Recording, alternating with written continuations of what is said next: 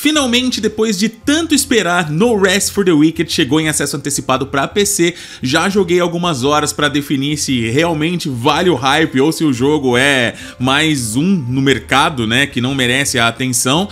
E galera, olha, já digo de cara, eu estou realmente impressionado aqui, tá? Esse jogo é tudo e na verdade é mais do que eu estava esperando. Meu, vale ressaltar antes de tudo que essa é uma versão não finalizada do game, tá? Para quem não tá ligado, os desenvolvedores optaram por construir o restante do jogo junto da comunidade, melhorando e adicionando features a pedido da galera e por isso o lançamento antecipado, né?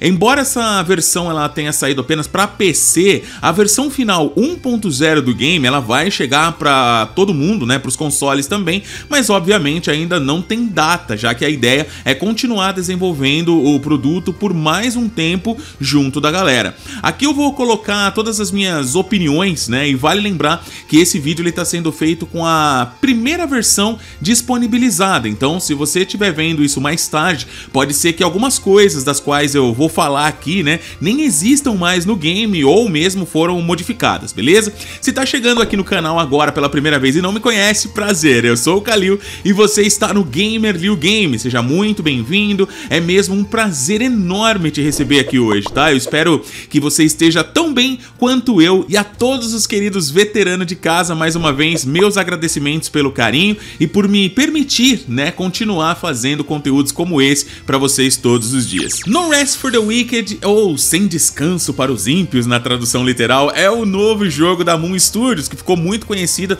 pelos seus trabalhos em Ori e Ori 2, né, lá na Microsoft. Dessa vez, eles estão apostando em algo completamente novo, mas que já estava na ideia do estúdio até mesmo antes de produzirem o primeiro Ori. No Rest é um jogo isométrico de ARPG, tá, de ação, com uma pegada diferente, e quando eu digo diferente, é, é diferente mesmo, viu galera? Podemos chamá-lo de algo como, sei lá, mano, um Souls isométrico, sei lá, seria correto? Bom, quase que isso, né? Porque embora à primeira vista pareça aí um jogo fofinho, acredite, meu amigo, de fofinho ele só tem a arte, porque ele é definitivamente um jogo muito desafiador e que vai te pôr à prova diversas vezes, né? Esse lance meio Diablo por conta, né, de ser isométrico também, alguns estão chamando o game de Diablo Souls. E, cara, por enquanto eu acho que tudo é válido, tá ligado? Porque lembra ali Diablo em alguma coisa, lembra Souls em algumas coisas, mas não é um e também não é outro. Na minha opinião, é um gênero novo único aqui, tá? A história do jogo, ela se passa em 841, quando uma pestilência terrível ali é, aparece, né? Na verdade volta, já que aconteceu há muitos anos tal. E pelo que eu pude entender, essa peste ela detona tudo que encontra no seu caminho, transformando pessoas em seres horríveis e sem piedade alguma, sabe? Uns seres muito loucos e viscerais. No mesmo tempo que isso acontece, um rei importante morre e o seu posto é passado pro filho, que já de cara a gente percebe que é uma pessoa bem desagradável. Para piorar, a viúva do rei ela promove uma inquisição para combater essa pestilência, mas obviamente focando nos seus próprios benefícios. Nós somos o que o jogo chama de Serin, né? Serins, algo assim. São guerreiros místicos lendários e sagrados que juraram combater essa pestilência a qualquer custo quando ela se apresentar. Isso é basicamente o que nós até já sabíamos antes do lançamento do game, e como eu comecei o game também há pouco tempo, eu não tenho muito mais o que falar, porque eu tô ainda adentrando a história, né? Mas mesmo se eu soubesse, eu não iria falar, não iria comentar nada, porque eu já percebi que o enredo aqui é bem interessante, é um dos fortes do game, então eu não estragaria a experiência de ninguém, né? Mas pelo que eu entendi, a premissa do game é isso. O gameplay, pessoal, ele se desenrola com mecânicas já conhecidas em outros jogos, jogos, mas bem aplicadas aqui também, né? O nosso personagem ele pode caminhar, correr, agachar, e assim como em Diablo, por exemplo, não existe movimentação da câmera, né? Não é possível dar ali um 360 no personagem. É tudo ali isométrico, é parado, né, a câmera, o jogo ele te mostra na tela o que ele quer que você veja e no lugar que você estiver, ele vai aproximar a câmera ou ele vai afastar a câmera. Você não pode, né, aproximar ou afastar ela manualmente realmente. Não, pode ser que isso mude, né? Como o jogo tá em desenvolvimento, mas enfim, por hora é assim. É, não temos pulo, tá? O personagem ele não pula, mas ele salta de um lugar para o outro quando necessário por conta do layout do próprio mapa. No combate, nós temos golpes sequenciais que são aplicados ao pressionarmos várias vezes aí o quadrado do DualSense ou o X, né, do Xbox, e se a gente segurar o botão, é possível usar um golpe carregado. Se apertarmos os dois gatilhos, o L1 e o R1, é possível dar um empurrão no inimigo que vai jogar ele no chão e deixar ele ali um tempinho, mas ao mesmo tempo a nossa estamina vai toda pro saco, né, nos deixando aí impossibilitados também por alguns segundos, então só usa se realmente for necessário.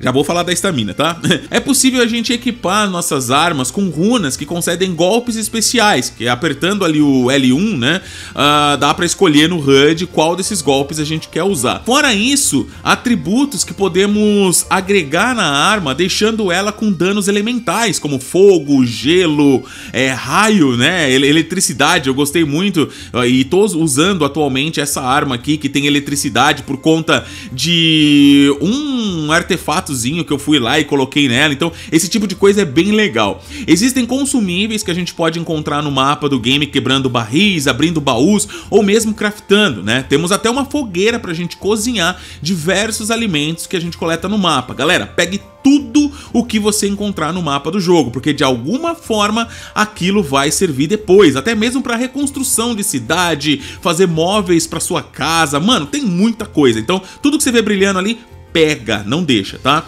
Atenção ao peso do personagem, né? Porque administrar o seu inventário e peças em uso faz toda a diferença no seu gameplay, tornando o personagem mais leve ou mais pesado. O jogo ele tem sistema de lock de inimigo, tá? Você pode focar em um inimigo único se desejar, apertando ali o R3, né? Quando se deparar com ele. É, mas assim, nem sempre é bom utilizar. Para inimigos sozinhos ou bosses, isso é essencial. Agora, para quando se deparar com um grupo, por exemplo, melhor esquecer que isso existe, porque mais pode te prejudicar do que ajudar, né? Ao menos é como funciona para mim, né? Quando tem vários inimigos, eu não consigo locar em um só, mas se você consegue, manda bala eu não indico. O que pode dificultar um pouco é a questão aí de estamina, né? O jogo, como eu falei, ele tem uma mecânica de estamina e você, se já jogar games nessa pegada, já for familiarizado tal, mano, tá de boa, mas caso não, não saia dando golpe aos ventos, porque isso vai te atrapalhar. Basicamente, pessoal, a estamina é gasta aqui a cada golpe que você dá, é, é gasta ao subir ou descer morros escalando e até no nado, tá? Se você ficar nadando sem se atentar à estamina, você vai acabar se afogando. Quem joga o Zeldinha, Immortals Phoenix Rising ou Souls Likes já tá meio que atento nisso aí, né?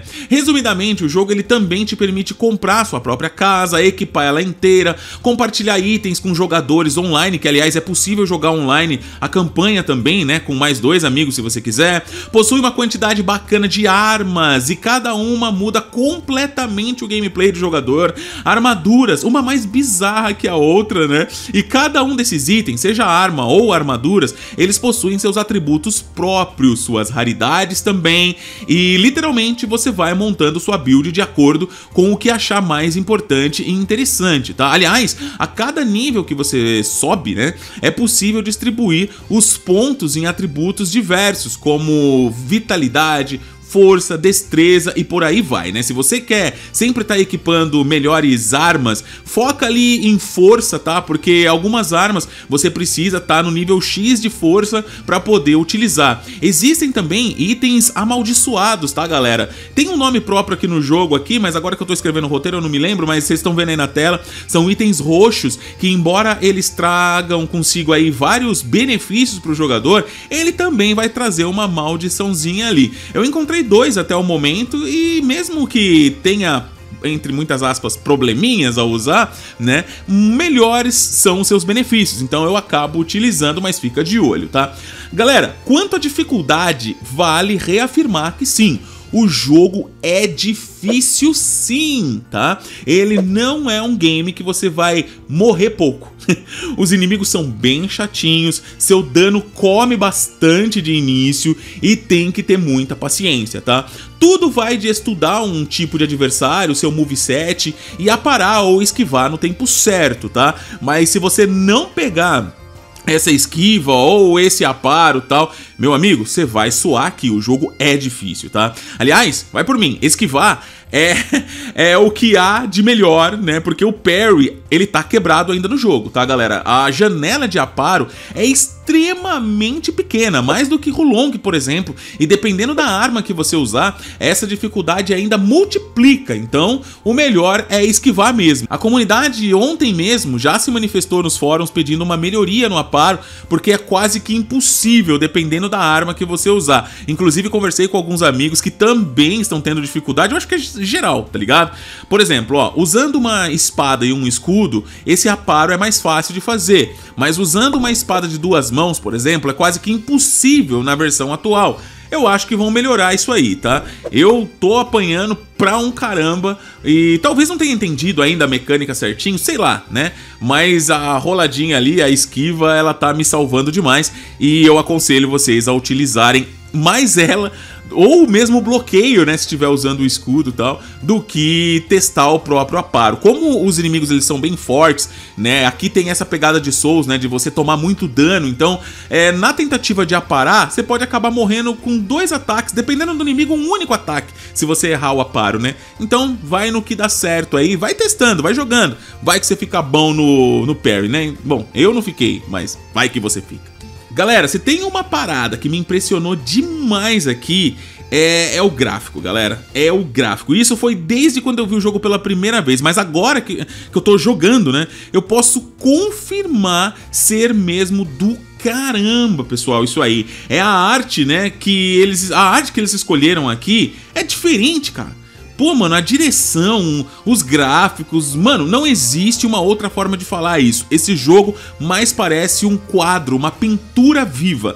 As cores, a iluminação, o cenário, os personagens cartunescos, a chuva caindo pingo a pingo na praia, no ombro do personagem. Quando você se mexe na chuva, os pingos, né, da, da sua roupa caem. Mano, o vento que bate na, nas gramas, tudo no cenário se movimenta, quebra ou interage. Sério, mano, se não tínhamos um fortíssimo candidato à direção de arte na TGA esse ano, nós temos agora, porque na minha opinião, esse jogo ele vai ser, no mínimo, indicado, né? Se ganha ou não, é impossível a gente saber, mas merece demais ser indicado. Tudo, como eu falei, feito à mão, com cuidado e claramente com muito carinho empregado, mano. Sem contar que existe muito gore, né? O gore é bem representado aqui, velho. O sangue jorra aos montes para tudo quanto é lado, mano. Fica manchado no chão, o, fica manchado os trajes dos personagens, tudo que estiver perto, né? Fica manchado de sangue quando você mata o inimigo. Sem contar que existe desmembramentos também. Galera, resumo: o jogo tem duas coisas que me atraem muito em games no geral: gameplay gostoso e uma direção artística de responsa, tá? Você pode até não curtir o game game, o formato isométrico, a dificuldade, sei lá. Mas nós temos que concordar todos aqui que o jogo é lindo demais. Ele, aliás, né, me lembra muito a série Arcane da Netflix, né? O traço, a pegada, né? Lembra muito. Eu acho que muita gente vai concordar também com isso. Escolha perfeita pro game, caso eles tenham se inspirado na série. Mas como eles estão é, trabalhando no jogo há seis anos, é, eu acho que não foi isso, né? Todavia, lembra muito. A trilha sonora desse game é muito boa, mas eu senti que em certos momentos, não sei se proposital ou não, né, ela desaparece, deixando aí o jogador sozinho com o som ambiente. Isso às vezes dá até uma sensação de solidão em meio a tantos perigos, e eu achei legal, tá? Mas eu não sei se é proposital ou se realmente ainda estão trabalhando na trilha sonora para todos os lugares do mapa, tá? É, galera, o que eu posso dizer é que nos momentos que a trilha sonora aparece, ela brilha, tá? Porque não é uma trilha sonora ruim, muito pelo contrário, é uma trilha sonora muito boa e a melodia que eles escolheram para representar o game também, tanto a versão tocada quanto a versão cantada que você pode encontrar em trailers tal do jogo, mano, é muito massa, eu gostei pra caramba. Não existe localização no nosso idioma, né? A dublagem, ela não existe aqui. No entanto, nós temos um voice acting muito supremo com sotaque sotaques e vozes caricatas que deixam a experiência ainda melhor. Obviamente que jogar um game localizado seria muito mais imersivo para nós, mas não rolou. Todavia, pessoal, o jogo ele tem legendas e interface no nosso idioma que ainda estão sendo trabalhadas, tá? Eu digo isso porque como o jogo ele ainda não está finalizado, existem trechos de conversa ou mesmo é, algum, algum algum detalhe na interface, né, que tá em inglês ainda. E os diretores inclusive pediram no Twitter que ao encontrarmos casos assim, reportarmos para eles, né, para que eles possam traduzir direitinho. Então, já fica a dica aí. Se encontrar com trechos não traduzidos, é só logar no fórum deles e mandar para melhoria, beleza? O mapa do game é aquele tipo de mapa que a gente já tá acostumado, né? Ele é fechado e conforme você for avançando e explorando, ele vai se abrindo, mostrando coisas que existem nele para vocês explorar e voltar também. Existe viagem rápida, né? Você pode ir até um lugar. Só que até o momento, né? Pelo que eu tô vendo, uh, essas viagens rápidas, elas não têm um lugar. Uh, como é que eu posso explicar? Ó, saca quando você entra numa viagem rápida, é o que mais tem, né? Você entra numa viagem rápida e seleciona o lugar que você quer ir, certo? Aqui não tem isso ainda. Pelo menos cada viagem rápida te leva é, para um lugar geralmente para dentro da cidade ou para o último ponto em que você interagiu com um checkpoint de viagem rápida, tá ligado? Eu acho que o melhor seria você abrir o mapa e escolher qual lugar você quer ir, quais os pontos de viagem rápida que você vai que querer viajar, né? E eu acho que futuramente isso aí vai ser adicionado porque do jeito que tá não faz sentido. Para mim tá nítido que tá inacabado, né? Eu só poder voltar para a cidade ou só poder voltar para outro lugar, bom, não sei, mas é assim que funciona hoje, tá? Aparentemente o mapa mapa é grande, mas como eu não explorei muito ainda, né? Eu tô jogando, tô, tô com poucas horas, devo estar tá com 10, 12 horas agora, sei lá. Então eu não, não tenho propriedade para falar o tamanho do negócio, porque ele vai se abrindo aos poucos. Mas por hora, tudo que eu estou vendo no mapa, eu tô gostando muito, galera. O, o, mapa, ele é muito vertical, tá? O jogo, ele tem uma verticalidade absurda. No mesmo lugar que você tá, por exemplo, no teto de uma casa, você vai descendo, descendo, descendo, descendo até chegar no porão e passa o porão e vai pro esgoto e, e mano, é incrível. Às vezes, e tem tanto lugar para você procurar e olhar e fuçar, que cara, às vezes você encontra sem querer algo incrível, saca? Eu mesmo eu tava um dia jogando ali e tal, e eu tomei um dano que o meu boneco voou. Ele voou para um lugar do mapa que eu não conhecia. E ali eu comecei a explorar e abrir um leque enorme de oportunidades. Um lugar que eu nunca talvez teria chego se não tivesse tomado aquele dano, né, que do nada me jogou para longe, saca? Então assim, é muito legal explorar o mapa. Tá muito bem feito, tem muitas coisas e por hora eu só tenho elogios para falar sobre ele, fora essa questão da viagem rápida que eu acho que precisa ser ajustada, tá? O jogo base hoje, pessoal, é só tem uma versão, né, óbvio, a Early Access, ela tá em acesso antecipado, como eu falei, para PC e tá custando aí 100, 105 tal na Steam e 92 reais na nuvem, né, onde até aconselho comprar para economizar um dinheirinho. É um preço simbólico para um game que ainda não está finalizado, mas pela qualidade e o empenho aqui, pessoal, vale até mais que isso, sendo extremamente sincero com vocês, tá? Já paguei muito mais em jogos fechados, finalizados, que são horríveis, né? Então pagar lão aqui em um jogo que tem me viciado de tão bom que é, né? Então mesmo estando inacabado, para mim vale, tá? Esses são os requisitos para você executar o game e galera, vou ser bem sincero com vocês. Existe um problema grave no jogo ainda, né? E esse problema é a otimização, beleza? Não está otimizado ainda. Ele tem pouquíssimas opções gráficas para a gente poder mexer, não tem FSR, não tem moldes ainda a monitores, né? É, Ultra Wild, não tem DLSS, não dá pra diminuir sombra, diminuir não sei o que. Cara, tá bem cru, tá bem bruto ainda, né? Mas dá pra jogar? Bom, pessoal, na configuração que eu estou usando, e vocês podem olhar ali os detalhes na descrição desse vídeo, dá sim tranquilo, tá? Eu tenho aí um i7 de décima com uma placa 3080 e tá rodando o game a 4K no modo qualidade e beleza, né? No entanto, o jogo raramente atinge os 60 FPS e isso é independente da configuração gráfica que você usar. Eu testei 1040p, testei 1080, não chega. Às vezes, para não ser injusto, até atinge 60, mas não se mantém tá? Em resumo, o game ele é pesadíssimo e fica aí variando aí de 30, 35, 40, 45 FPS, às vezes dá uns 55, 60 lá, mas ele fica variando, entendeu? Ele não se mantém.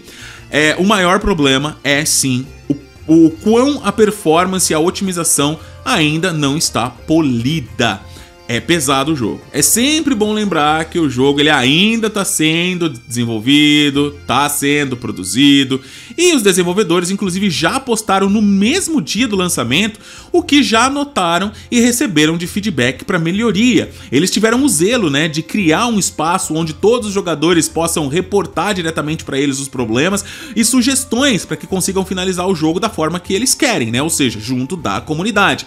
Eu tô achando isso, tipo, muito legal, saca? Porque toda hora tem publicação da empresa ou dos diretores pedindo sugestões, é, o que a galera, mostrando né, o que a galera tá achando. E por incrível que pareça, ontem, um dia após o lançamento do acesso antecipado, eles já soltaram um hotfix, né? O primeiro deles com 30 gigas contendo várias melhorias que a galera pediu. Então, mano, um dia depois, velho Cara, sim, para mim ficou muito claro que a empresa tá levando a sério o lance de vamos construir junto de vocês, saca? Ontem mesmo o diretor também fez enquete sobre a quantidade de itens a ser coletado no inventário, pedindo a opinião, o que a galera acha. Meu, tá da hora fazer parte disso tudo, né? E você também pode, se você quiser, tá? Os desenvolvedores, eles já publicaram o mapa do acesso antecipado, ou seja, fora toda e qualquer mudança, né, que venham fazer a pedido e sugestões da comunidade, melhorias tal, existe já um roadmap com o que eles estão preparando como conteúdo oficial e eu achei isso bem legal, saca só. A primeira etapa foi o lançamento do acesso antecipado, a primeira grande atualização de conteúdo vai trazer uma arena online pra galera se bater ali. Na segunda grande atualização nós temos algo por nome A Brecha, que eu não entendi muito bem, mas acredito ser aí uma expansão do mapa e da história. E por fim, o que eles estão chamando de mais atualizações. E eu acho que isso engloba correções, melhorias e até conteúdos, né? Não dá para definir. Na minha opinião, sendo o mais sincero possível aqui, galera, vale a pena acompanhar esse progresso caso você tenha um PC e esteja ciente que ao comprar o game você não vai ter ainda o jogo finalizado, mas sim um jogo em andamento que está sofrendo diversas alterações e que vai ajudar a construí-lo com suas opiniões e indicações. Comprando o jogo agora por 100 conto, já foi dito que ao ser lançado oficialmente, quem pagou esse valor não vai gastar nem mesmo nenhum centavo a mais. Eu achei isso muito massa, né? Muito da hora essa ideia deles. O jogo ele tá vendendo como água e no primeiro dia bateu rank 1 na Steam. Obviamente, isso não significa muita coisa, porque várias pessoas compram sem saber o que vai jogar, né? Ou seja, sem saber se o game tá bom ou não. E analisando os comentários, né, os votos tal, ali, uh, dá pra ver que ele está com status de opinião neutra ali. Né, como eu falei, embora o jogo ele seja espetacular ao meu ver, e aos olhos de muitas pessoas também, né, o seu maior problema atual é a otimização, a performance. Se a gente olhar as reclamações, né, os pontos negativos citados aqui, são em sua maioria sobre isso. E como a equipe ela tá empenhada em melhorar esse ponto até o lançamento, eu acho que o resultado final pode ser brilhante se eles fizerem mesmo com carinho. Eu acho que esse neutro aqui vai para positivo e não vai demorar muito, tá? Galera, a experiência que eu tô tendo com esse jogo é de longe uma das melhores que eu já tive esse ano, mesmo ele ainda dando umas agarradas, não chegando nos 60 FPS e tal. Mano, definitivamente eu tô surtando. O jogo é para mim quilômetros de distância melhor do que eu estava imaginando, tá? Eu acordo e durmo pensando nele e se eu não tivesse que produzir conteúdo pro canal todos os dias, eu estaria jogando agora e não gravando esse vídeo. Então sim, eu viciei e simplesmente né, viciei num jogo ainda inacabado, mas que feito com muito carinho, zelo, que traz novidade e que só tende a melhorar até a, a versão final, né? Se você deve comprar o game agora ou não, vai do seu hype, da sua configuração de PC e ciência em saber, né, que tudo estará em constante mudança, como eu já falei várias vezes nesse vídeo. Basicamente, o jogo ele tá mudando todos os dias com atualizações que melhoram uma coisa ali, outra coisa aqui, nerfam itens, buffam itens, e que por hora, no momento em que eu estou gravando esse vídeo, ainda não existe otimização digna, tá? Então é possível você comprar, não rodar, você acabar não gostando, se frustrando e pedir reembolso, né?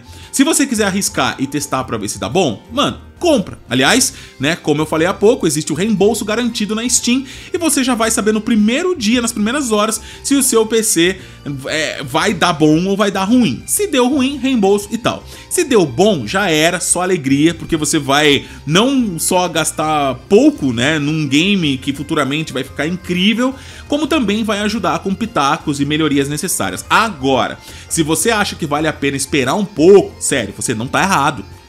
Muito pelo contrário, tá? Quer dar um único tiro e certeiro espere mais alguns dias, né? Espere pelo menos até eles lançarem aí a grande primeira atualização voltada para otimização e performance. Certamente eu vou trazer um vídeo testando isso quando sair, tá? E dizer para vocês se é ou não é o momento certo. É possível que quando sair essa atualização, o preço do game não esteja mais 100 reais, já que esse desconto é válido até o próximo dia 5, né? Mas independente disso, você vai estar tá gastando em algo no qual tenha certeza de que otimizado ele está né? Então, fica, fica aí a, o pensamento, tá bom? Se você comprar agora, compre sabendo que está em construção, existem inúmeros problemas e é isso, tá? Qualquer coisa você pede reembolso. Caso você queira esperar, tá tudo bem e é o melhor, tá bom? Fora toda essa questão de otimização, eu garanto que eu tô muito satisfeito com o que eu tô vendo, eu tô pra lá de feliz com esse jogo e desejo que a Moon Studios continue atuando nele até polir o máximo, porque galera, sem medo de errar aqui eu digo pra vocês, esse jogo vai se tornar uma pérola, ele é incrível!